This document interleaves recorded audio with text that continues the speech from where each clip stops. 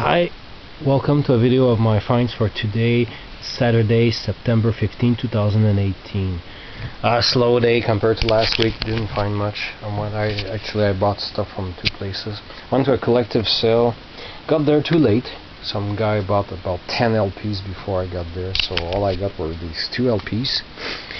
Argent Nexus in good condition. I've checked a few seconds of it uh, a, few, a, moment ago on YouTube. Seems to be progressive rock from 1974. It can go wrong. It's in great shape. And got this best of by the Who Hooligans. Seems to be a uh, uh, early 80s reissue. I don't think it's the first pressing. And uh, anyway, for a dollar. Well, a dollar. You see, I got these two LPs and these 12. Is it 12? Yeah, 12 CDs for uh, seven dollars. But I think it came to five dollars for these 12 CDs and uh, two dollars for these two LPs. What do we have here? A mix of everything. This is mostly for the car. The very best of James Brown. There's like 20 tracks on there. Yeah, some some some uh, kitsch.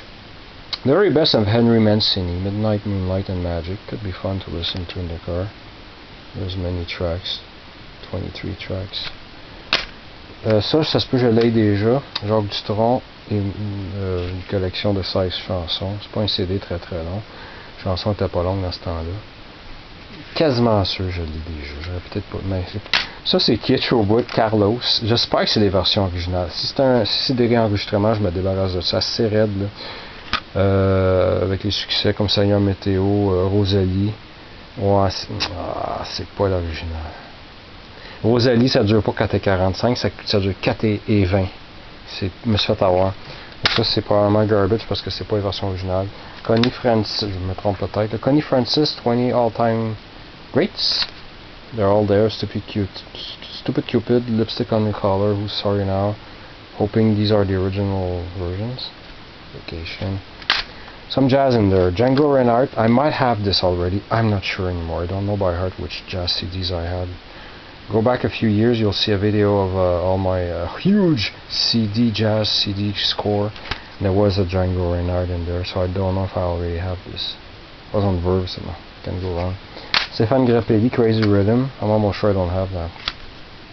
17 tracks. The very best of Bobby Vinton. It only has 14 tracks, so mm. See, I had uh, we used to have the uh, K-tel 8 track uh, 8 track compilation with 20 tracks, and I have the 20 track compilation on. Anyway, it was cheap.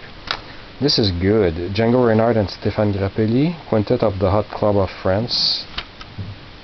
20 tracks, 56 minutes, so that's very good. Talking Verve, Astrud Gilberto on Verve. Can go wrong with them. How many, uh, oh, only 44 minutes of music. 16 tracks. This, ça, je l'ai déjà dans le, mon intégral, mais c'est cool d'avoir la pochette originale. J'ai le 10 pouces de ça. J'ai le, le 25 cm, les Français. Hein.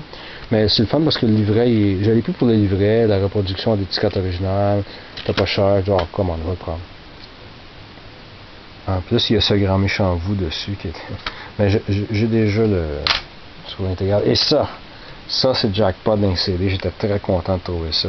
Extrait des bandes originales des films de Jacques Tati. Le jour de fête, euh, Mon oncle, Les vacances de Monsieur Hulot, puis Playtime. Ça là. Oh, je viens de réaliser qu'il est pas très long. C'est pas un CD qui dure longtemps. Ça, j'avais pas remarqué par exemple, que ça durait pas longtemps. Mais je suis content pareil de l'avoir. So I got uh, all this for seven bucks, and then I left and went to a yard sale that I almost turned to on the street to go, and I decided to go to the collective sale first. Turns out that when I came back and did the sale, uh, there was nothing for me. Across the street, actually, there was another sale. And the guy had records, but he sold all his great records, the, the best ones, very early. I, I, was still in bed when he sold uh, a 10, for 10 bucks, he sold a Beatles record signed by John Lennon. His sister used to live in London, uh, England. I missed it by several hours. All was left for me to buy for a dollar each were those two LPs. The Guess Who flavors in great shape. I bought it because it's in terrific shape. I was curious. I know it doesn't have uh, Randy Bachman in it anymore at that point in 74, but I oh, can go wrong. Seems clean. And Stampeders, Rubes, Dudes, and Roadies. Rowdies, Roadies, Roadies. And it's also not bad. Great, nice shape. I'm still looking for a 45 upgrade of Hit the Road Jack. I don't know why that freaking 45 is so elusive. I'm still angry at myself for leaving back uh, behind a stack a stack of half a dozen mint condition 45s of the Stampeders for 25 cents each. I was so pissed off at the moment that uh, Hit the Road Jack was not in the stack. I just threw the stack back in there and I didn't buy a single one. Uh, I regret not picking up the whole stack of 45s, but anyway, I got this LP today. That's all I got, so uh, thanks for watching.